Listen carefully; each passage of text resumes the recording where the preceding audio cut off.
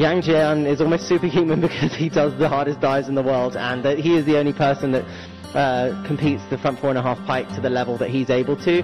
I think if lots of other people tried to do that dive, you would see quite a few catastrophes. So um, it's very impressive to see him do that dive.